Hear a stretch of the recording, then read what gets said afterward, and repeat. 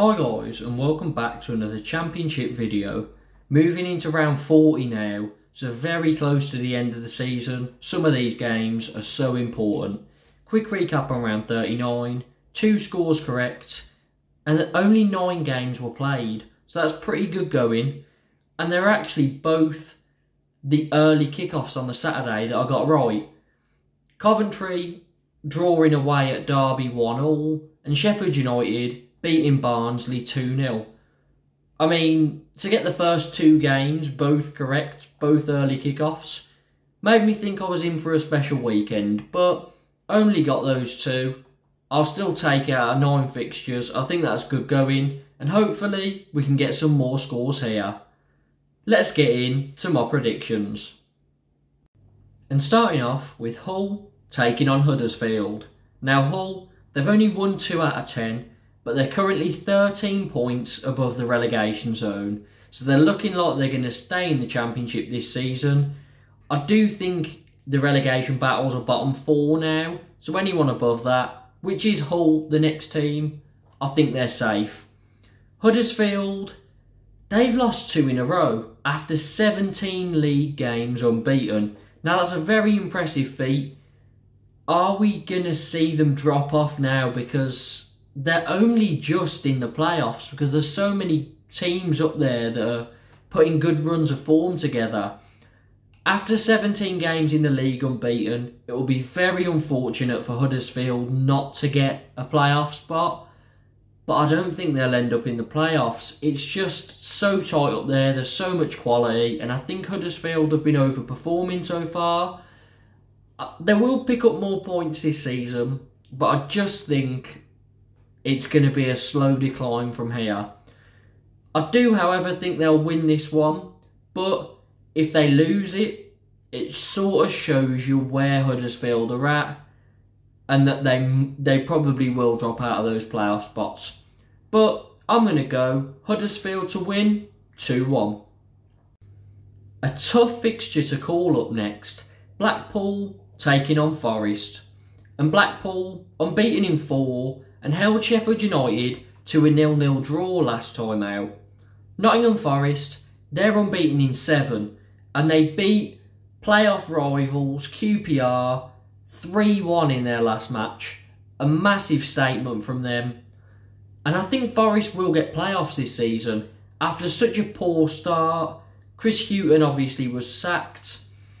They've really turned their season around. I think they'll get playoffs and I think they might even have a good chance of going up. They seem to be hard to beat, in good form, they've got good players. Could be Forest season.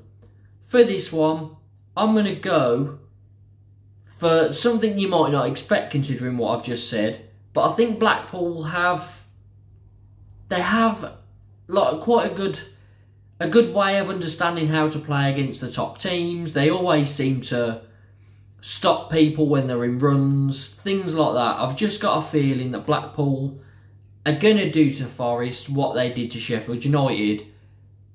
I'm hoping for goals, so I'm going to go down the middle, 1 all. Bournemouth take on Bristol City next, and Bournemouth unbeaten in four, and they beat Huddersfield 3 0 last time out. And you've got to think it's only a matter of time before Bournemouth clinch automatic promotion. Bristol City, they've only won one out of their last six. They drew their last game 2 all against West Brom. Bristol City are uh, quite a strange team to predict because they've got some good attackers. Andreas Weimann's had a very good season. They can get goals. They're quite leaky at the back, however. And it's just a bit chaotic when when I tend to look at Bristol City scores, there tend to be quite a few goals. And I'm thinking for this one that Bournemouth have got too much for them. So I'm going to go Bournemouth to win 2 1. An absolutely massive game up next. Could really decide who gets relegated. Barnsley taking on Reading. There's a five point gap here. Reading, five points ahead. Same amount of games played. Barnsley have got better goal difference. So you've got to think if Reading win this, an eight point gap, it looks like the bottom three will go down.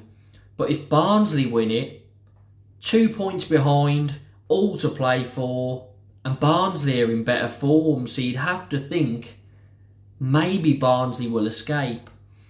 Barnsley, they've won three out of their last eight, which is good for a team, you know, in the relegation zone.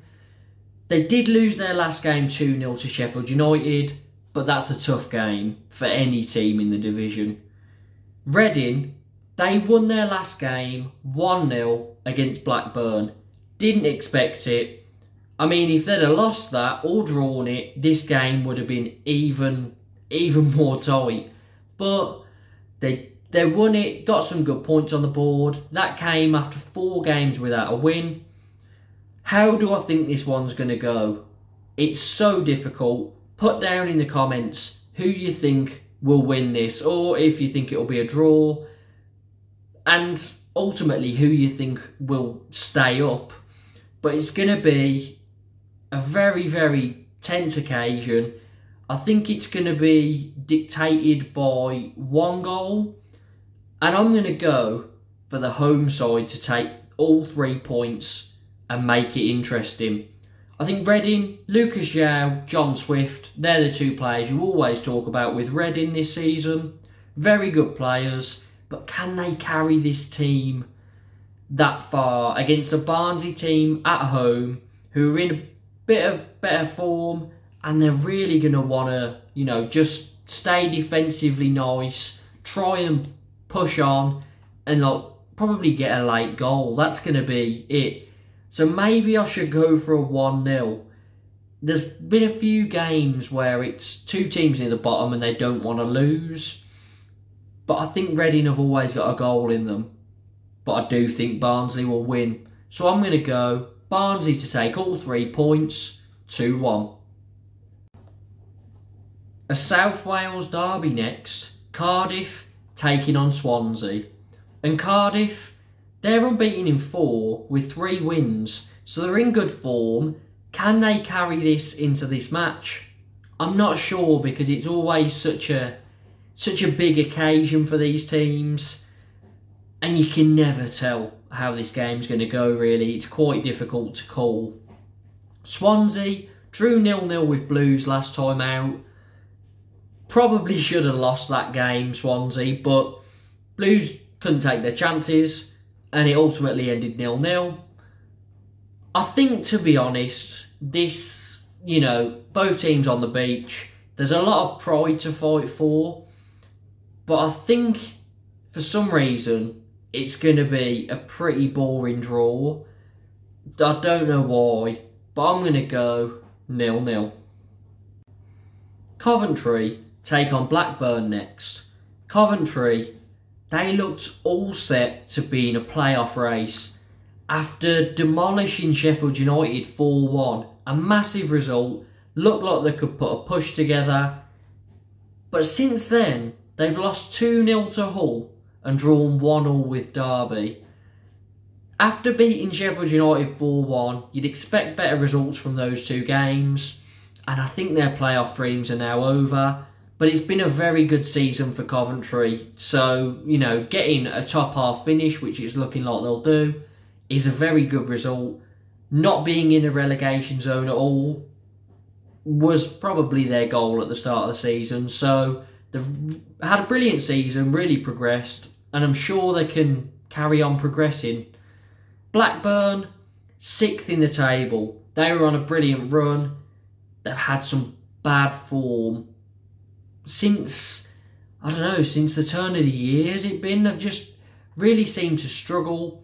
They do what Blackburn have done for a few seasons. They don't normally do so well that long into the season, but they always drop off at some point. And it looks like it's happening. There's teams below that are lurking with games in hand.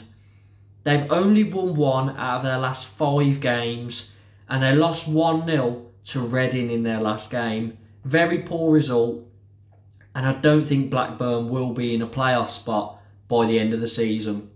For this, I'm not sure how to call it. I think it's a very, very difficult match. Either team could win it, but Blackburn just, they are struggling at the moment. Coventry, not the greatest, not the greatest form, but they are quite spiky. I'm just going to go down the middle, 1 all. Derby take on Preston next. Big game for Derby. Chance to get some more points on the board against a team that don't really have anything to play for. Derby, they've only won one out of seven. They drew their last game 1 all with Coventry, which is a good result. You need all the points you can get when you're down there. Preston, they've won one, drew three, lost one of their last five. So a lot of draws, which we already knew about Preston. But they did lose their last game 4 0 against Luton. They were absolutely swept away by a very good Luton side. But I just think with them having nothing to play for, Derby being at home, Derby obviously needing points, I've got a feeling Derby are going to win this or at least get a point out of it. But I'm going to go all the way. Derby to win 1 0. A very big game next in terms of the playoffs. One team at the top of the playoffs, the other is sitting in 10th place, but they're in good form and there's everything to play for still. Luton take on Millwall. Luton, they've been in brilliant form and they've hit it just at the right time. If you're there or thereabouts when it comes to the playoffs, if you hit form at the tail end of the season, you will end up in those one of those spots. They've won six out of eight. They've scored seven goals in their last two matches. Luton mean business. Sitting in third. Would never have seen this coming, but fair play to them. Millwall, on the other hand, they were unbeaten in eight. Then they lost 2 0 to Stoke. It's going to be interesting to see how they bounce back because, you know, a lot of teams just you know that they're sort of running on you know all the emotion and you know you're doing so well and you've got a lot of belief. Then you lose a game and the teams can sometimes just drop off. With this Millwall side I don't think that's the case but I'm going to go for a scoreline that I was going for Millwall a lot of the, at the start of the season it's a draw because that's Millwall Maybe not now, but definitely last season. Down the middle, 1 all. Peterborough take on Middlesbrough next. A big game at both ends of the table here. Peterborough got their first win after 15 without one. Came against QPR 3 1. Brilliant result for them. QPR haven't been in the best form, but that's really damaged their playoff chances now, and it's helped Peterborough out a lot and they've been scoring quite a few goals recently. I've seen a few twos. Obviously, they've just scored three against QPR and won it. Could they make a push and somehow escape from the uh, from the relegation zone? That would be a miracle for Peterborough. But can they build on that win against QPR? It's going to be interesting to see. Middlesbrough, seventh in the league, won their last game 2 0 against Blues and they're looking destined for a playoff spot. Now, I do think that you know Middlesbrough aren't uh, are very good at home. Don't pick up as many points away.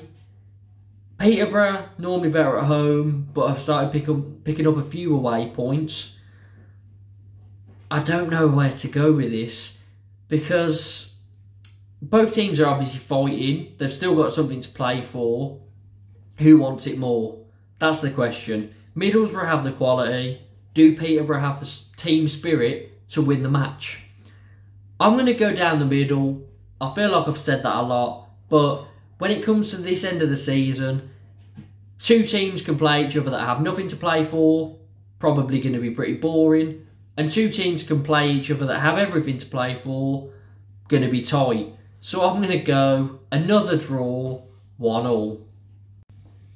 QPR take on Fulham next. And QPR, they've lost four out of their last five games. Their last game, 3 1 loss to Peterborough. They're really struggling. I don't think they'll be in the playoffs at the end of the season. After such a good start, they kept it up for so long, but their form has really dropped off and it's going to cost them. Fulham, top of the league, they're going to win the league surely from here. And they were unbeaten in five, but then they lost 1 0 to West Brom. West Brom seem to have got their act together as well a bit, but you know, we'll get to that soon. But Fulham, I think they've got enough to win this game. Well, they obviously do, they're top of the league. And QPR's form isn't good enough. QPR are at home. You know, it's a London derby. So I expect QPR to put up a fight. But I just think Fulham, they've got too much for them. So I'm going to go Fulham to win 2 1. Stoke take on Sheffield United next. And Stoke, they won 2 0 in their last game to put a stop to Millwall's unbeaten run. Very good result for Stoke, not that it means much, but they hadn't won in 8 before that.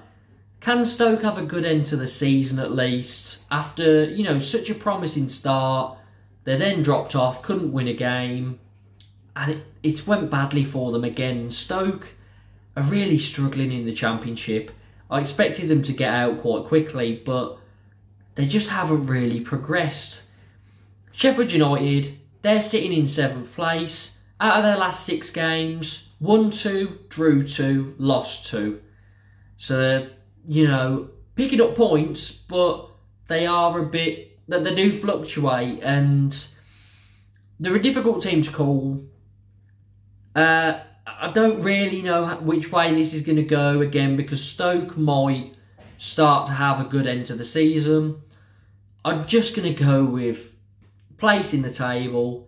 I think Sheffield United have got quality and I think that's going to shine here. So Sheffield United to win 2 0. And the last game, a big one Blues take on West Brom. And it doesn't mean much this game. I don't think either side, you know, will be in a different league next season. Both going to be still in the Championship. But West Brom have obviously picked up their form just before this game. Blues, we drew nil-nil with Swansea in our, our last game. And it got to a point where you just had to laugh. We had so many chances some of the misses we had in that game, you know, you wouldn't see three misses like that normally, you know, in a weekend. Yet we missed all of them in one game. It was it was it was comical really. And it just sort of sums Blues up. Just not very clinical. We can do the build up play, we can create chances, we can fizz balls in the box, but there's either no one there or you know, someone just can't finish. And then at the other end, we, we're not very good at all. We're not composed at the back. We tend to let teams score off one chance. And that's sort of the way our seasons went. However, we were good defensively against Swansea, you know, kept a clean sheet, which is always positive. And I'm sure we'll be more clinical. We can't miss keep missing chances like that it's, it, it would just be ridiculous if we went into this game and missed more chances like that. I'm expecting a strong lineup as well for this West Brom game. After an international break, we had a few injuries, a few players maybe not at full fitness. I think it's going to be a strong lineup and we're going to go for the win here.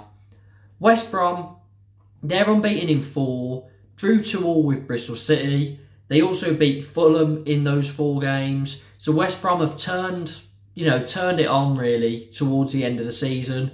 Too late for them for a, a playoff charge, but it's going to be an interesting game. Interesting stat as well. The last 10 attempts that Blues have had at this game, we haven't won. So, I didn't look any further than that, to be honest. It, it's probably longer than that, but I just looked at the last 10 and we had no wins in all competitions. So difficult, difficult match.